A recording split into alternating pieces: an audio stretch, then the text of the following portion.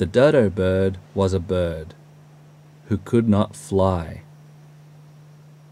Now it is a bird who can't do much of anything because of extinction. Being extinct is one of the worst things that can happen to a living thing, and the dodo's extinction is no exception. The dodos used to live on the Isle of Mauritius off the coast of Africa until the Portuguese came on over in uh, 1507. A while ago now. These explorers were hungry. And unfortunately for the dodo, there were no fast food restaurants in those days. And now there are no more dodos. Unless mankind decides to clone them and bring back dodo burgers.